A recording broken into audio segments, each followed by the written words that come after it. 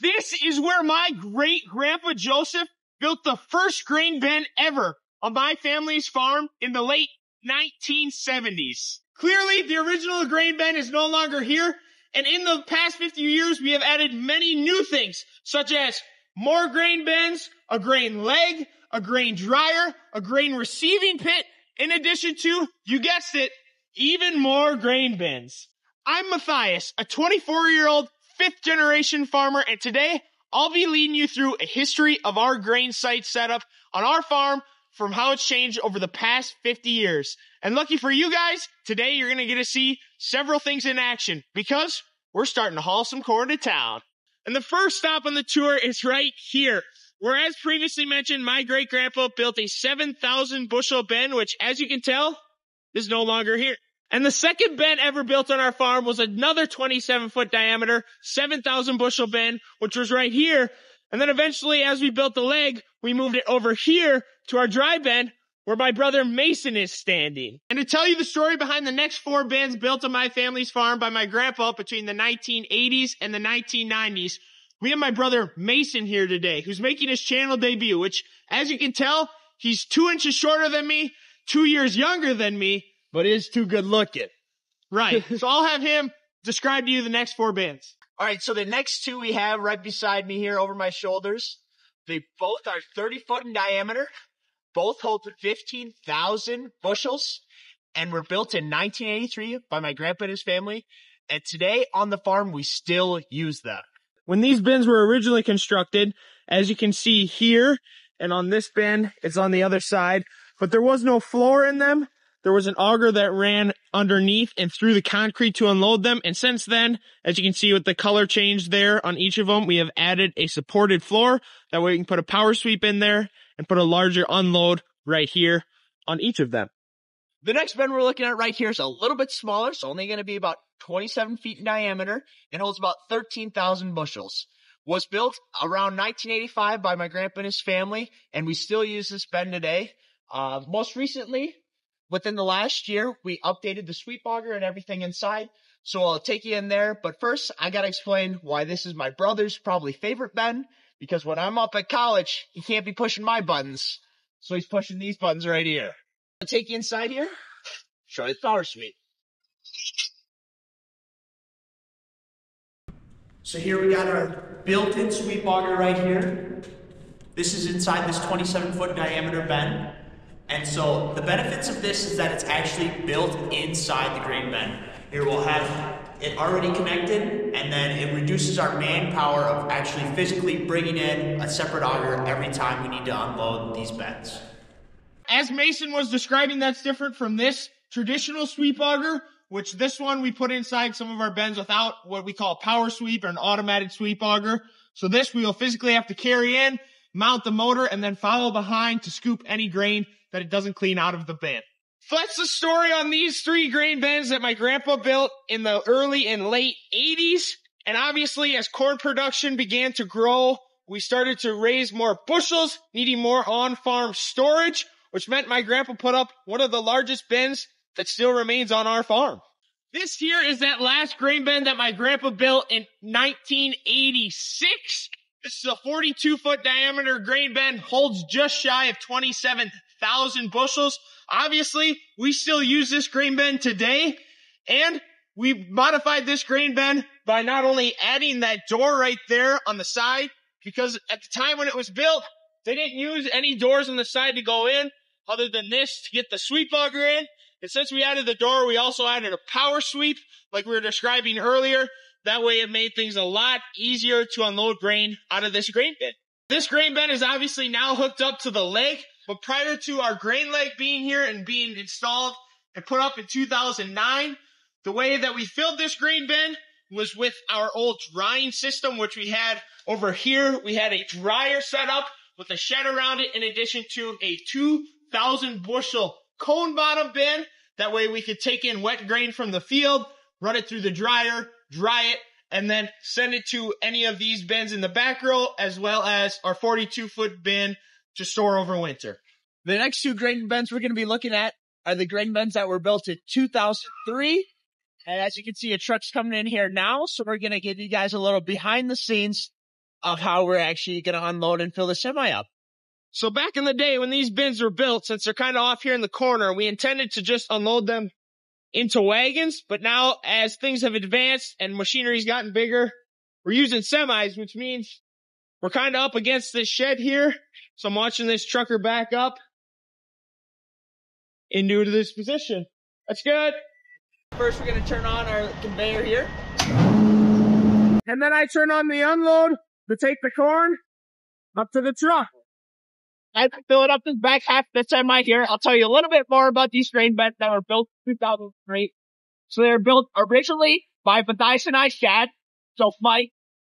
And then a little fun fact that I think is interesting about these is that the concrete for each of these beds foundation was actually forged by our other side of our family, our grandpa and our uncle. So they do construction and a little bit of farming on the side. So I think that's very interesting. These beds are 36 feet diameter, hold 41,000 bushels. Then of course, like Mason, if he's around, these bins, we're going to use them. So that's going to round off everything on this of great lead here.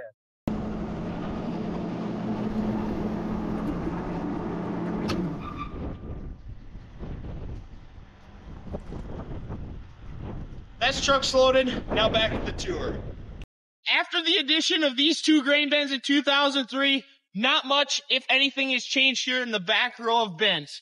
Fast forward then to 2009, and my dad Mike put up this 116 foot, 6,000 per bushel grain leg, which we're still using today, and I love having in terms of grain efficiency and flow of grain grain harvest prior to 2009 and putting up the grain leg and some of the other additions that we'll get to, there was an old chicken coop building sitting right here that obviously we needed to take down to make room for our grain site expansion. With the room now down from the old chicken coop that was here, it made room for our new Brock SQ24 grain dryer, which can dry a thousand bushels an hour down from 18.5% moisture to 15.5% moisture.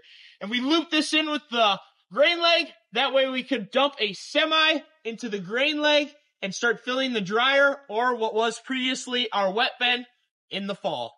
With the leg installation, we also put in this drag leg conveyor, which is what we use to bring in our hold red truck, our wagons, our semis.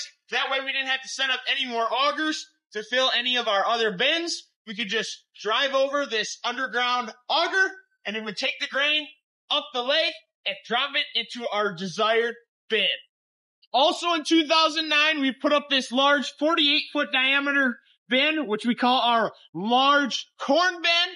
And this is one that we use to unload with this drag conveyor and back into the leg. That way it comes into this spout to fill a truck when we're hauling corn back out of the bin. Here's a live look. We just had a truck full under this overhead spout I was talking about. We're actually taking corn out of that big corn bin, which will get run through our underground drag conveyor. Start filling them up. We now have a pause from our regularly scheduled tour content as this 36 foot bin that we were in unloading out of earlier is now getting down to the sump, the point where we're gonna have to put the sweep auger in because these two bins are the same size, we already emptied this one and the sweep auger is still in there. So Dad and I are going to try pulling that sweep auger out of there while Mason starts going in there to start getting ready for the sweep auger.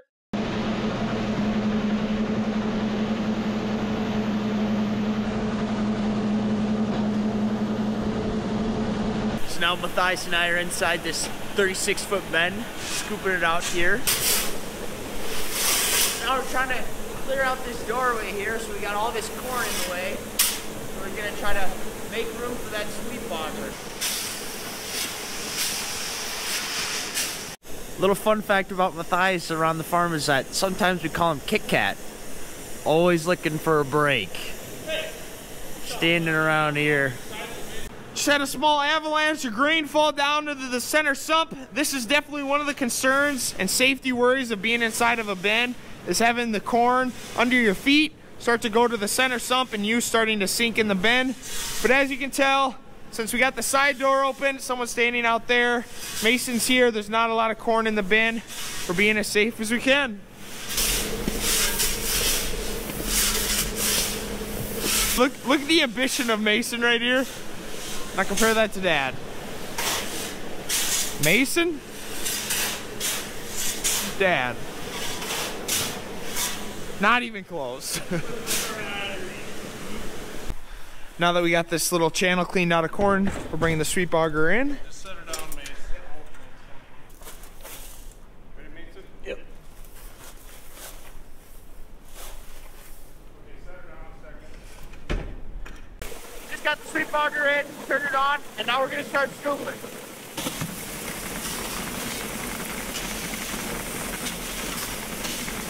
Just got the first truck loaded up here. We got three more waiting outside.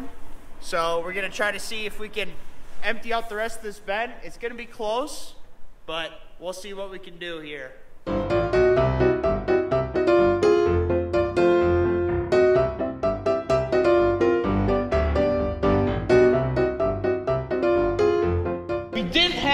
Enough trucks here to empty out the bin completely.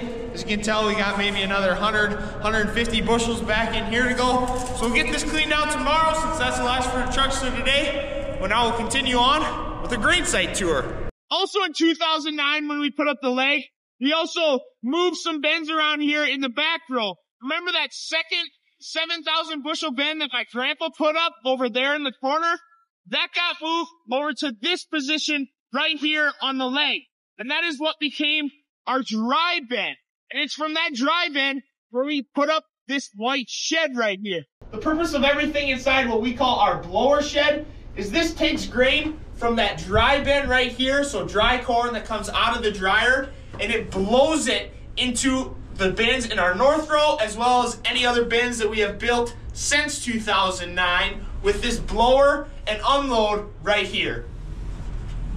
Here are those pipes that are coming out of the blower system.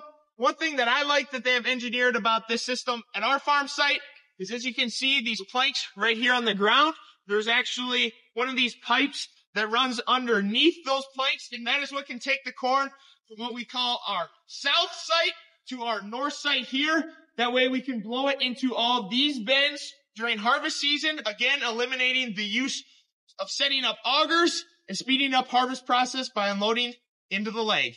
Our surge bin here is obviously newer than 50 years old, and this one right here was actually built in 2009, but it wasn't designed to be our dry bin. This bin right here actually used to be positioned on this concrete pad.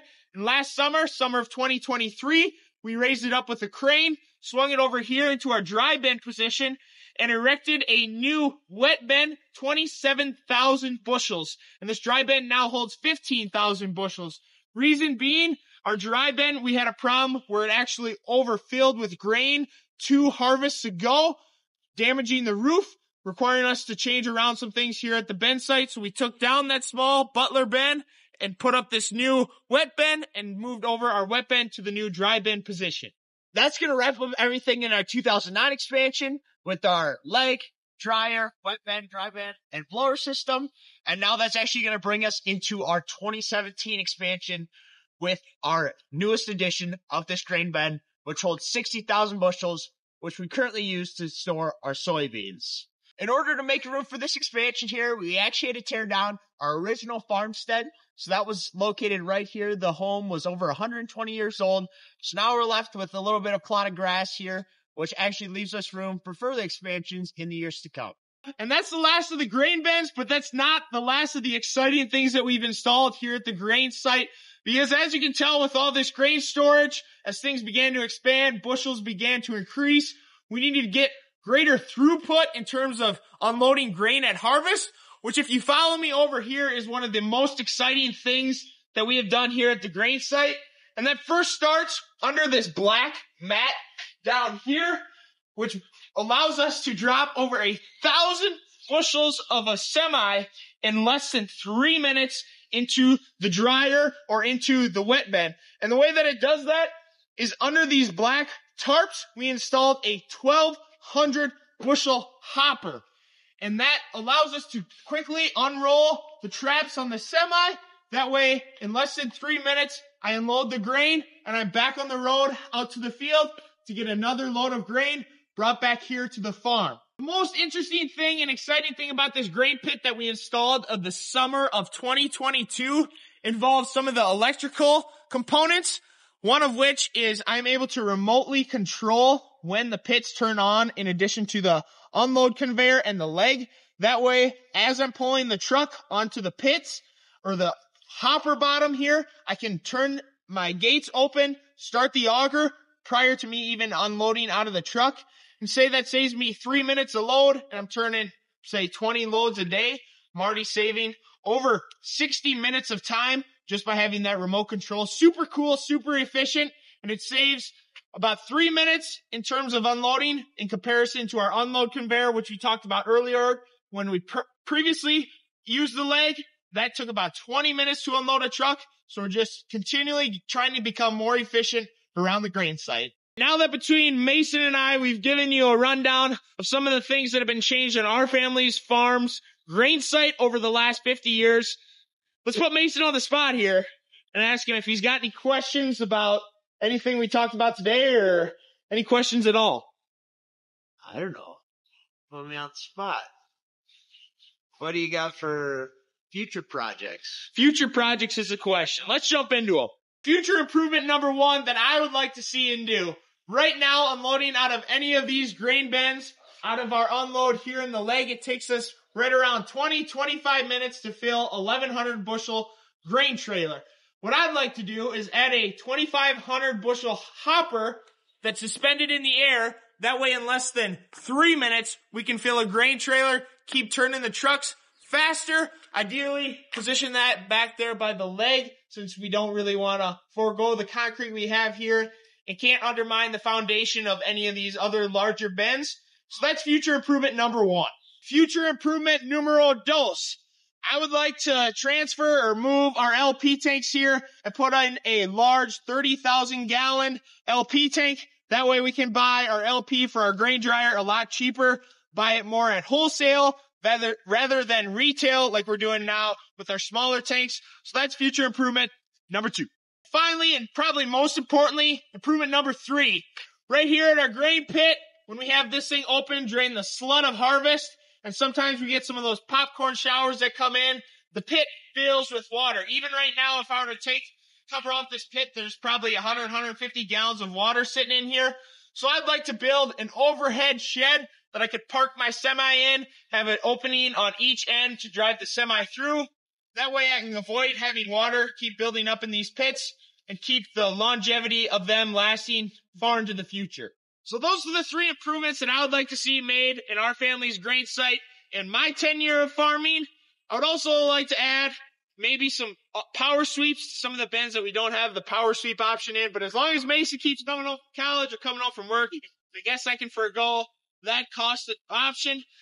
Anything from you? If you want to see more content with Mason, go ahead and comment the corn emoji down below. And for me, make sure to give this video a thumbs up, hit subscribe. Thanks so much everybody for watching, and we'll see ya in the next one.